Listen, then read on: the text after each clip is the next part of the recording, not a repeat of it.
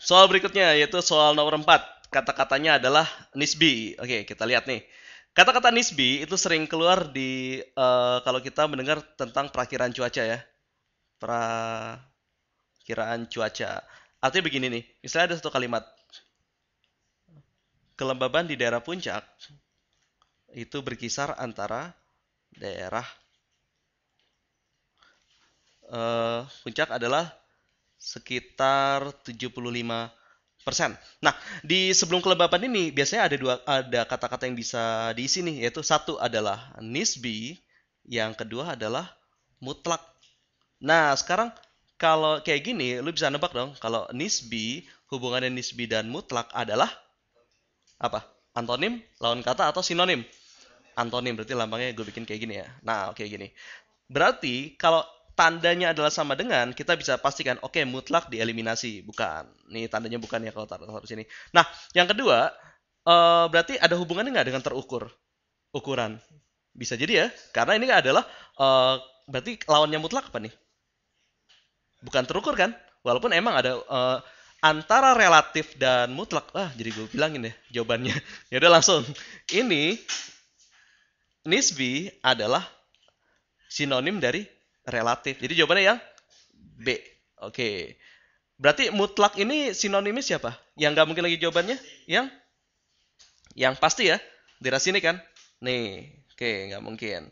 Nah, berikutnya kalau di sini ditentukan relatif sama nggak ditentukan? Enggak ya? Ditentukan itu adalah ditentukan itu kata-kata yang cocok apa coba? Oh iya coba cari kata-kata sinonim dari ditentukan. Satu kata. Ada yang tahu? Depannya D.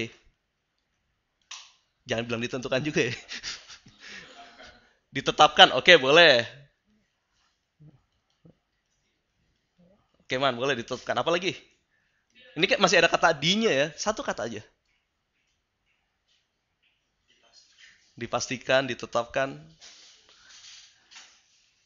Di. Oke, berikutnya. Ini dipastikan itu aja deh. Nah, oke berarti bukan juga yang ini terukur tadi juga bukan. Jelas jawabannya yang nisbi sama dengan relatif. Oke, satu lagi deh sebelum selesai. ngomong ngomong-ngomong, kita ngarah sedikit ke sini nih pengertian tentang kelembapan relatif. Kelembapan mutlak udah jelas ya bahwa kelembapannya adalah nilainya segitu. Kalau relatif itu artinya apa? Ada patokan tertentu kan, misalnya ini ada patokan misalnya benda A, terus jarak antara benda A sama X adalah 3 cm. Terus jarak uh, Y terhadap A adalah 4 cm. Nah, sekarang kalau A-nya ikut ikut bergerak juga, nah uh, jarak relatif sama jarak mutlaknya itu ikut berubah. Nah, ngomong-ngomong gini deh, kelembapan relatif artinya adalah misalnya kelembapan 50%, kelembapan relatif 75%, sama kelembapan relatif 100%. Kelembapan itu artinya apa sih? Udara mengandung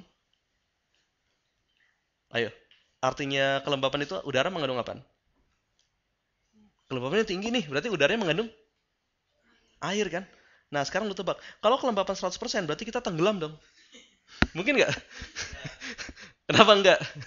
Jadi karena ini kelembapan relatif, kalau ada kata-kata kelembapan relatif di daerah ini sekitar 80%. Artinya adalah kalau sampai kelembapannya 100%, air yang ada di udara udah mulai jenuh dan membentuk embun.